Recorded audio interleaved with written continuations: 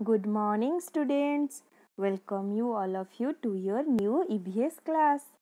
So ପିଲାମାନେ Sunday ସରିଗଲା ଛୁଟି ସରିଗଲା ଏବେ ମଣ୍ଡେ ଆଜିଠୁ ଆମର ଆଉ ଗୋଟେ ନୂଆ କ୍ଲାସ୍ ଷ୍ଟାର୍ଟ ହେଲା ମନେ ଅଛି ନା ଇଭିଏସ୍ରେ ମୁଁ ତୁମକୁ କ'ଣ ପଢ଼େଇଥିଲି ଇଭିଏସ୍ରେ ଆମେ ପଢ଼ିଥିଲେ ଆମ ପରିବାର ଏଇଟାରେ ତୁମକୁ କହିଥିଲି ଫଟୋ ଲଗେଇ ନିଜ ପରିବାରର ତୁମେ ମୋତେ ସେଣ୍ଡ କରିବ କେବଳ ଶୁଭମକୁ ଛାଡ଼ି ଆଉ କେହି ଯାଇ ସେଣ୍ଡ କରିନ ତ ଟ୍ରାଏ କର ସମସ୍ତେ ଜଲ୍ଦି ଜଲ୍ଦି ସେଣ୍ଡ କରିବାକୁ ବୁଝିଲ? ଆଚ୍ଛା ତୁମକୁ ମୁଁ ପରିବାର ବିଷୟରେ ବୁଝେଇଥିଲି। ପରିବାର କେତେ ପ୍ରକାରର? ତିନି ପ୍ରକାରର ଛୋଟ ପରିବାର ବଡ଼ ପରିବାର ଓ ଯୌଥ ପରିବାର। ତୁମେମାନେ ସବୁ ଭଲରେ ବୁଝିଥିଲ। ତ ଆସ ଆଜି ଆମେ ଆମ ପରିବାର ବିଷୟରେ କିଛି କଥାବାର୍ତ୍ତା ହେବା। କଥା ହେବ ନା ମୋ ସହିତ? ମୁଁ ତୁମକୁ କିଛି କଥା ପଚାରିବି ବା କିଛି କ୍ୱେଶ୍ଚିନ୍ ପଚାରିବି ତୁମେମାନେ ମୋତେ ତା'ର ଆନ୍ସର୍ ଦେବ। ତ ଚାଲ ପ୍ରଥମ କ୍ୱେଶ୍ଚିନ୍ ମୁଁ ତୁମକୁ ପଚାରୁଛି। ପରିବାର କେଉଁମାନଙ୍କୁ ନେଇ ଗଠିତ? ମୋତେ କହିଲ କାହା କାହାକୁ ନେଇକି ପରିବାର ଗଠିତ? ତୁମେ ଯେଉଁ ପରିବାରରେ ଅଛ କାହାକୁ ନେଇକି ପରିବାର ଗଠିତ? କୁହ ଆନ୍ସର୍ ଦିଅ ଜଲ୍ଦି। ପରିବାରରେ ରହୁଥିବା ବା ଘରେ ରହୁଥିବା ଲେଖିବ ତୁମେମାନେ ଖାତାରେ ଲେଖିବ ହେଲା। ଘରେ ରହୁଥିବା ସମସ୍ତ ସଦସ୍ୟଙ୍କୁ ନେଇକି ଆମ ପରିବାର ଗଠିତ। ଆଉଥରେ କହୁଛି ମନେ ରଖ।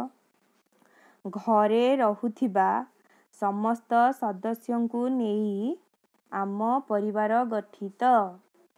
ଛୋଟ ପରିବାର କାହାକୁ କୁହାଯାଏ? କାହାକୁ କୁହାଯାଏ ଛୋଟ ପରିବାର? ତମକୁ ମୁଁ ଭଲରେ ବୁଝେଇଥିଲି ଛୋଟ ପରିବାର କାହାକୁ କୁହାଯାଏ ଦେଖ। ଯେଉଁ ପରିବାରରେ କେବଳ ବାପା ମା ଓ ଭାଇ ଭଉଣୀ ଏକାଠି ମିଶି ରହୁଥିବେ। ସେହି ପରିବାରକୁ କ'ଣ କୁହାଯାଏ? ଛୋଟ ପରିବାର କୁହାଯାଏ। ମାତ୍ର ସେଇ ଘରର ସଦସ୍ୟ ସଂଖ୍ୟା କେତେ ଥିବ? ତିନି କିମ୍ବା ଚାରି। ବୁଝିଲ? ମାନେ କେବଳ ବାପା ମା ଓ ଭାଇ ଭଉଣୀ। ଏତିକି ରହୁଥିଲେ ତାଙ୍କୁ କେଉଁ ପରିବାର କୁହାଯିବ? ଛୋଟ ପରିବାର କୁହାଯିବ। ତାହେଲେ ତୁମେମାନେ କ'ଣ ଲେଖିବ? ଯେଉଁ ପରିବାରରେ କେବଳ ବାପା ମା ଓ ଭାଇ ଭଉଣୀ ମିଶି ରହୁଥିବେ ସେହି ପରିବାରକୁ ଛୋଟ ପରିବାର କୁହାଯାଏ। ଆଚ୍ଛା କହିଲ ବଡ଼ ପରିବାର କାହାକୁ କୁହାଯାଏ ବା ବଡ଼ ପରିବାର କାହାକୁ ନେଇକି ଗଠିତ? କ'ଣ ଲେଖିବ? ଯେଉଁ ପରିବାରରେ ବାପା ମା ଭାଇ ଭଉଣୀ ଓ ଜେଜେବାପା ଜେଜେମା ମିଶି ରହୁଥିବେ ସେହି ପରିବାରକୁ କ'ଣ କୁହାଯାଏ? ବଡ଼ ପରିବାର କୁହାଯାଏ। ବା ଗୋଟିଏ ପରିବାରରେ ବାପା ମା ଓ ଦୁଇଟି ସନ୍ତାନରୁ ଅଧିକ ଥିଲେ ତାକୁ ବଡ଼ ପରିବାର କୁହାଯାଏ। ଲେଖିବ ହେଲା ତାପରେ ଯୌଥ ପରିବାରର ମୁଖ୍ୟ କିଏ? ଯୌଥ ପରିବାର ମାନେ ତୁମର ଜଏଣ୍ଟ ଫ୍ୟାମିଲି କ'ଣ ବୁଝେଇଥିଲି ତୁମକୁ? ଜଏଣ୍ଟ ଫ୍ୟାମିଲିର ହେଡ୍ କିଏ ସେ? ମୁଖ୍ୟ କିଏ ସେ? ପରିବାରରେ ବାସ କରୁଥିବା ସବୁଠାରୁ ବୟସ୍କ ବ୍ୟକ୍ତି ହେଉଛନ୍ତି ଯୌଥ ପରିବାରର ମୁଖ୍ୟ। କ'ଣ ଲେଖିବ? ସବୁଠାରୁ ବୟସ୍କ ବ୍ୟକ୍ତି ହେଉଛନ୍ତି ଯୌଥ ପରିବାରର ମୁଖ୍ୟ। ତୁମ ପରିବାରର ସଭ୍ୟ ସଂଖ୍ୟା କେତେ? ଆଚ୍ଛା ତୁମେ କହିଲ ତୁମ ପରିବାରରେ କିଏ କିଏ ରହୁଛ? ତୁମର ବଡ଼ ପରିବାର କି ଛୋଟ ପରିବାର କି ଯୌଥ ପରିବାର? ତୁମ ପରିବାରରେ ଯେତିକି ଲୋକ ରହୁଥିବେ ତୁମେ ସେତିକି ଲେଖିବ। କାହାର ତିନି କାହାର ଚାରି କାହାର ପାଞ୍ଚ ଲେଖିବ। ଠିକ୍ ଅଛି।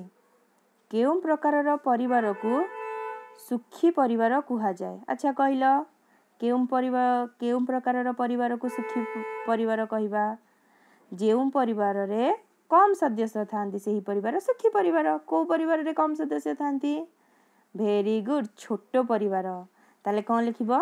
ଛୋଟ ପରିବାର ହେଉଛି ସୁଖୀ ପରିବାର। କ'ଣ ଲେଖିବ? ଛୋଟ ପରିବାର ହେଉଛି ସୁଖୀ ପରିବାର। ତାହେଲେ ପିଲାମାନେ ଏହି ଏକ ନମ୍ବର କ୍ୱେଶ୍ଚିନ୍ ଆନ୍ସର୍ ମୁଁ ସବୁ ଡିସ୍କସନ୍ କଲି। ଏହାକୁ ଗୋଲ ଗୋଲ କରି ଅକ୍ଷର ତୁମ ଖାତାରେ ସୁନ୍ଦର ଭାବରେ ଏହାର ଆନ୍ସର୍ ଲେଖ ଓ ମୋ ପାଖକୁ ଜଲ୍ଦି ଫଟୋ ପଠାଅ ଠିକ୍ ଅଛି? ଜଲ୍ଦି ପଠାଇବ। Thank you for watching bye bye